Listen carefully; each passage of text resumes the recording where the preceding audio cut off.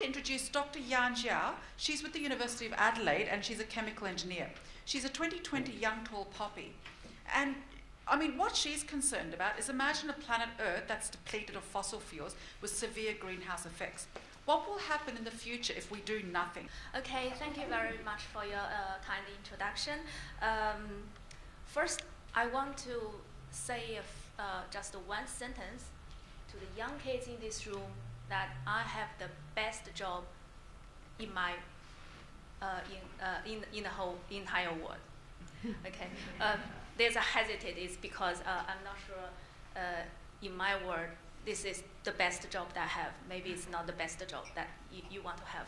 But anyway, the reason that I think my job is the best is that I get to play Legos every day. and the Legos is slightly different with the Legos that the kids are playing now is that I play the Legos on the computer. That my Legos are actually atom. So I build different models, but with different atoms. Now I'm going to show you how I can achieve by building those atom Legos and why, why this problem is so important for us. So uh, the biggest challenge that I see for our current world is actually the climate change. And the reason for that is because of the burning of fossil fuels and the emission of the carbon dioxide. So earlier this year, that IPCC they released a report saying that, well, if we do not do anything now, then the world will become well, the Earth will uh, reach a tipping point. That after that point, there's nothing we can do to save this planet. When I was young, I was really worried about this problem. I don't know why. Maybe because of these these magazines that I read. but that worries me so lot, so much. So I started to think, well, how can we address this? At the beginning, I thought mm, maybe we just mop out out of the CO2 from the atmosphere. Maybe that saved the problem. But then when I, uh, after I graduate, I become a PhD student and I get to know many of other research fields, I know, I, uh, I start to realize there are better ways of doing this. Now I show you uh, how this uh, is working. So over here, it shows the different types of energy. Something uh, fundamental about energy is that it cannot be created and it cannot be diminished. It can only transform from one format to another format. So speaking of the fossil fuels that we are using now, the, the, the function of the fossil fuel is to give us energy. And how are those energies coming from? Fossil fuels were, uh, were buried underground for millions and millions of years. Uh, and they, uh, the buried things were plants, plants animal bodies. And under the high temperature and high temp uh, pressure, they transformed to fossil fuel. So where does the energy to that plant and animals uh, were originated at the, at the beginning? Uh, it was from uh, sunlight. So sunlight, after sunlight, there's photosynthesis in plants. So plants has the energy. Animals eat the plants, and they have the energy, and they get buried and then transformed to fossil fuel. So sun is the ultimate source resource of the energy. So many people realize this, it's not just myself.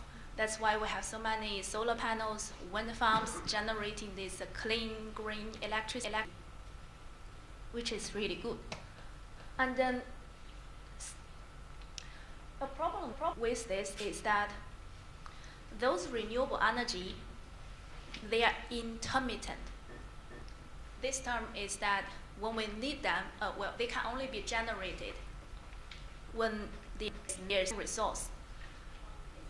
Like during the uh, day, we have sunlight, then we have the solar electricity.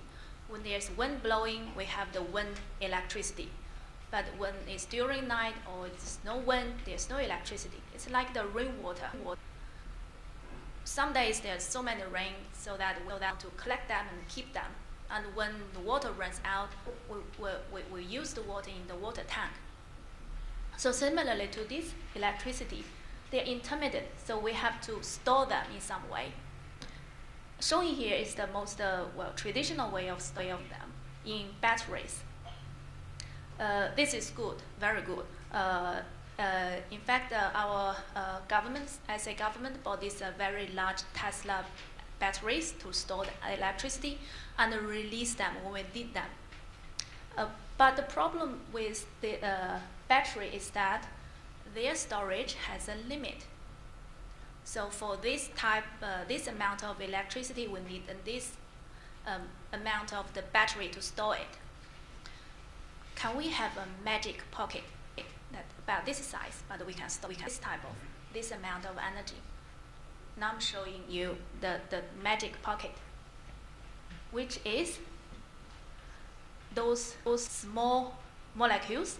If we put electricity into these small molecules, then we can convert them um, to renewable fuels. I'll show you later how that's done. So uh, my research is then focused on battery, uh, better uh, battery materials and better catalyst material that can realize this conversion. I need to speed up a little bit. So uh, during all those processes, we need catalyst material a very simple metaphor of how catalyst material is helping us is that suppose we want to climb a mountain. On this side of the mountain is the reactant, the small molecules, water, carbon dioxide, nitrogen. On the other side is the fuels. So everything needs to climb a mountain, which uh, climb mountain needs energy, which, means the energies are wasted. By the catalyst, we're drilling a tunnel. So we don't have to go over the mountain, we can go through the mountain. That's the significant role of a catalyst. Catalyst are material. And I'm building models, atom by atom level models for these catalyst materials and investigate what kind of tunnel that it can create. That's my job, and I have my collaborators uh, well, uh, my job, uh, after I create, I create these uh, uh, models, I will send them to supercomputers to calculate how the tunnel looks like. And then after that, I will inform my collaborators who are doing experiments. They will actually synthesize this catalyst material and test their performance. So if there's really something really good, we will ask um, uh, we will we'll ask our industry partners to see if they can make that happen in real life.